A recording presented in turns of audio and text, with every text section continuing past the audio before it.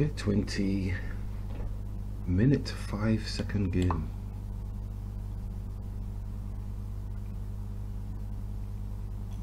If they're going castle and king side, these are the weak squares. Simple. Let's just bring this bishop here, already targeting one of the key squares. Well, that's an interesting situation taking with the bishop like that. So obviously, looks like this person's just getting rid of all their pieces. Unless, of course, they genu they do actually believe that they're um, using a technique, aren't they? Ah, right. So our king could come here, defending the knight. Shall we try that?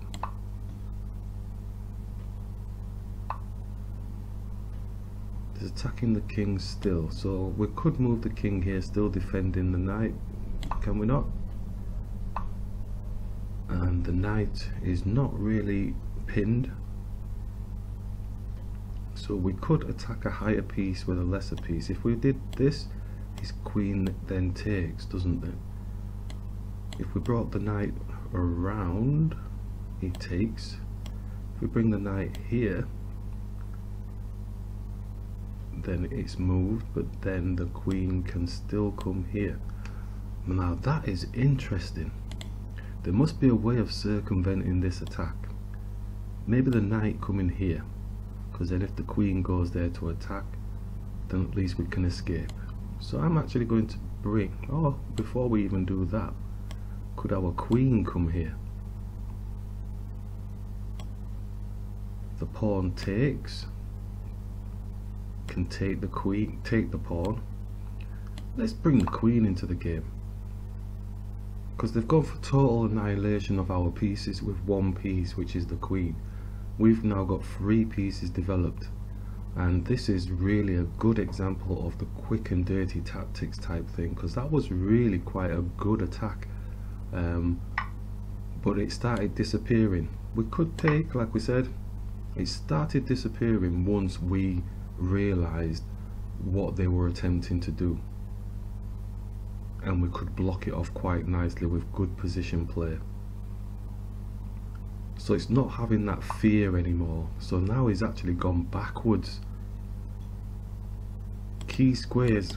Ooh, man, mouse is clicking on there. Key squares. Here and here. Bishop's got this diagonal so it's preventing the king from castling at the moment we need to get more pieces into the game. So I think if we get the knight open here or even the bishop which one should we move first? Move the pawn to get the bishop up blocking off even more of the area.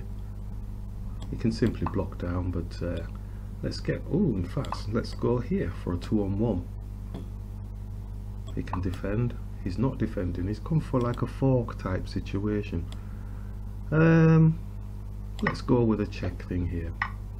And let's capture here. So we can take our and we can take here. So we're plus one at the moment. Let's just bring the bishop here. They move so fast. Like I say I mean they've come out with some really good moves. Um, but what we're proving and showing to ourselves is the elements of position play are really quite crucial. Bishop attacking the rook here, ready to get my rooks into play. This bishop doesn't have any protection on it so we could quite easily move the rook here just to attack. So the bishop moves onto the knight. Knight can come here attacking his knight. Again, let's just go with that nice and steady, keep it simple and capture with the bishop bishop's probably going to come and take the pawn here. Key squares at the minute. Got the bishop on there so now we've got the rook on there as well. So these key squares have worked quite nicely for us at the moment. It's not saying it's winning but it feels pretty favorable so he's actually dropped his bishop and they've resigned. Absolutely brilliant example. I have to go through the analysis on that one brilliant example of quick and dirty tactics in its fullest form. So the push through, oh shall we get the eval bar up just to have a look and see what's the story. So they develop the knight, bring our knight up, bring the bishop across, and then there's this big attack.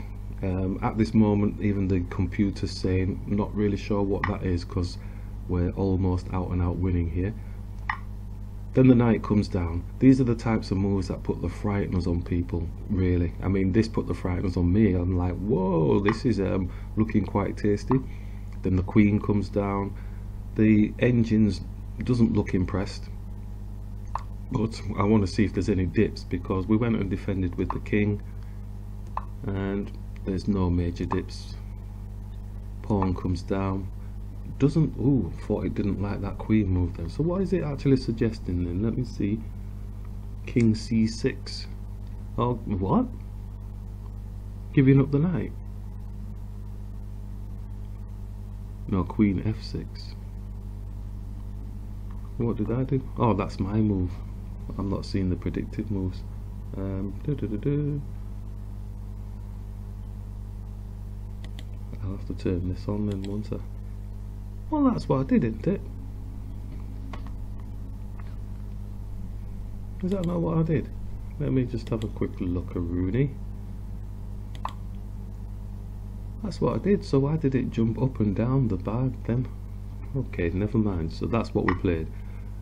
They captured, we captured, and whoa, here, this is the dippy thing we're talking about.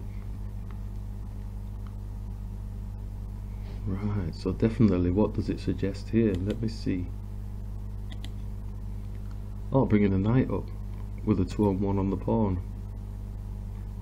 Right, so we lost the big tempo somewhere. Okay, fair enough. But the opponent didn't see it, so hey, what can you do? So we're still in an advantage from there. It didn't go below, so that's not too bad. It's not a major blunder. So then they attacked down with the pawn, we captured, captured. Yep, so it was really quite frantic. It's quite scary when the opponents play like that. I'm glad I caught this one because um, this was really quite amazing. So then we brought the knight through. We had a rationale for everything that we were doing. Bishop attacking the higher piece, yeah. Rook coming through attacking a bishop that's not got any protection on and we came through with the knight it's not really happy with the knight move but I'm happy with it. Uh, so we're attacking the knight knight captures we capture back. So oh and the bishop taking is obviously a big no-no because we can. And then they've let the bishop go. At that point they resigned. So yeah a good example of not being fearful of quick and dirty tactics. Have have a moment to have a look to see well okay what can I realistically do? If your king is getting disheveled then use the king to be a good supporting king. Make it a fighting king rather than a king that is ready to sort of capitulate. Because the examples that we've worked through um, if you're using the answer appropriately you're going to be putting pressure on a king that is alone even when it castles. Castling is nice, it's good, keep it safe, so long as you're also supporting the spaces around where your king is based.